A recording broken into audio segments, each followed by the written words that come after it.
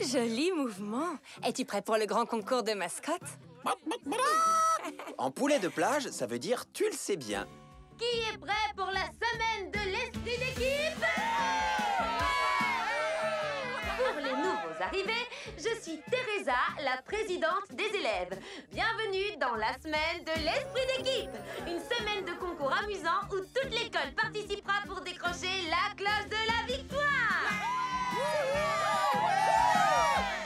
toujours, nous affronterons nos sempiternels rivaux du lycée de la Haute-Côte qui ont remporté la cloche ces cinq dernières années. Attends, mais je ne rêve pas C'était toi sur la photo Oui, et alors J'étais là-bas l'an dernier. Oh, un bien meilleur établissement d'ailleurs.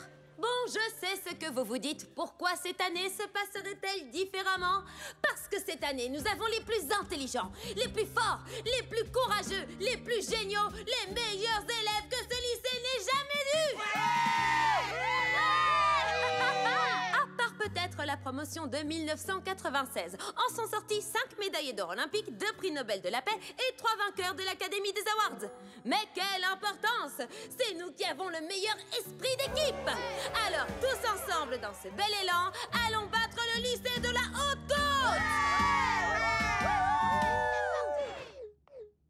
Vient du lycée de la Haute-Côte.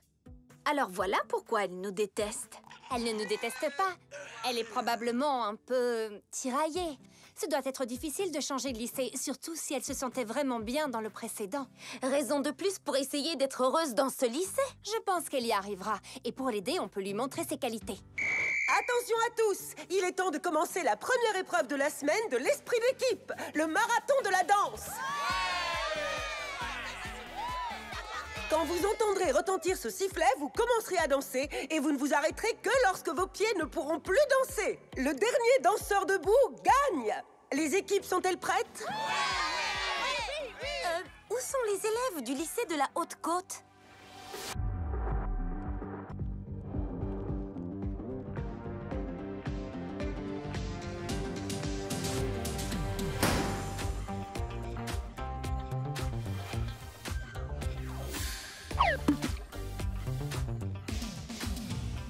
Eh bien, eh bien, il n'est pas si beau que ça.